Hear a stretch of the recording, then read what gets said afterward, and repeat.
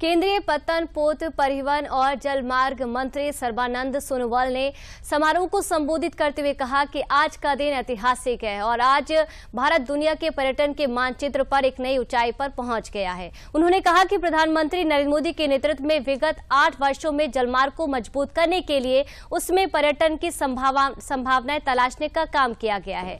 जलमार्ग के ज़रिए तमाम प्रदेशों और देशों को एक साथ जोड़ने की परिकल्पना साकार हो रही है। पर्यटन उद्योग को भी इससे बढ़ावा मिलेगा और आसपास के क्षेत्रों की व्यवसायिक गतिविधियाँ भी विकसित होंगी।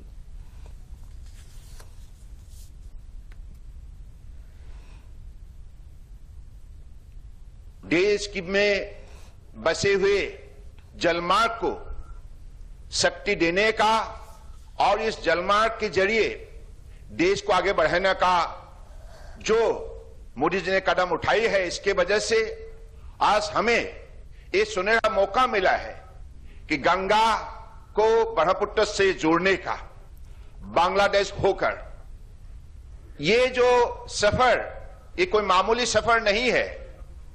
ये सफ़र में हमें कई रास्ता दिखाई देती है।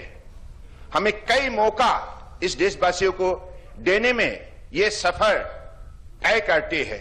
खास करके एक तो जलमार्ग में बसे हुए शक्ति, संपदा और संभावना को उजागर करना और इसके ज़रिए देशवासियों को अपने अर्थव्यवस्था को मज़बूत बनाने के लिए मौका देना, सही दिशा देना